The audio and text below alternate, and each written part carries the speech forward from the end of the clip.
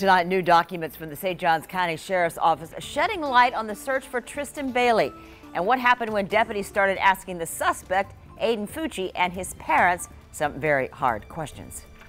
Thanks so much for joining us tonight at 6 o'clock. I'm Jeannie Blaylock alongside Anthony Austin. And we do want to warn you tonight, some of the details you're about to hear may be disturbing. Jessica Clark is on your side tonight with those details, joining us from the newsroom. And Jessica, that release also includes an, a, a report from the medical examiner's office. Yeah, it does. And, you know, these are just some of the reports made available today in the large document release from the state attorney's office in the murder case of Tristyn Bailey. And what's inside includes an image suggesting violence against women, and it paints a disturbing picture. More information revealed about 14 year old Aiden Fucci and 13 year old Tristyn Bailey in the early hours of May 9th. Court documents indicate Tristyn's family realized she was not at home the morning of Mother's Day during breakfast. They searched the entire house for her, and then her mother frantically called 911 to report her missing.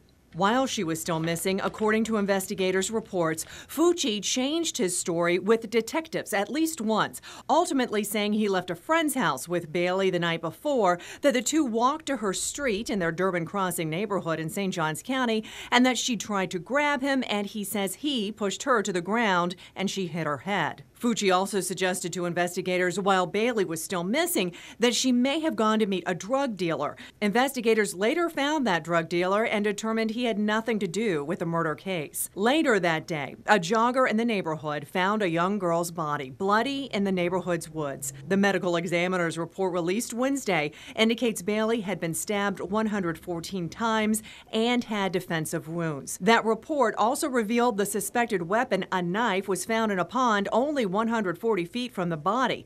The knife missing its tip. The tip found in Tristyn's scalp. Keep going. According to investigators' reports, during a search warrant in Fucci's home, investigators found bloody clothes in his closet, as well as what is described as satanic images and violent drawings of women in his bedroom. Now, many, many people are named in these documents, and we understand from previous uh, news gathering that there are more than 250 potential witnesses in this case. Live in the newsroom, Jessica Clark, First Coast News on your side. Jess, thank you. So let's talk more about these new documents. They are also shedding light on the night Aiden Fucci and his parents were inside of an interrogation room after Tristyn Bailey's body was discovered. Aiden's parents questioned him with no detectives in the room, but the audio and video devices, they were rolling. According to the report, his mother told him that Bailey was found in their neighborhood. The report says Aiden then asked, is she good? The mother's response, no, she's dead. It's all on you right now. The report says Aiden asked, how is it my problem? They reportedly said because he was the last one seen with her.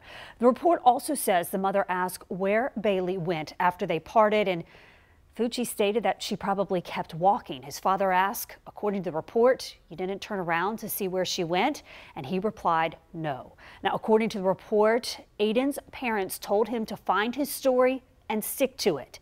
He was arrested at 3.30 the next morning. His mother, Crystal Smith, would later be arrested accused of tampering with evidence in this case.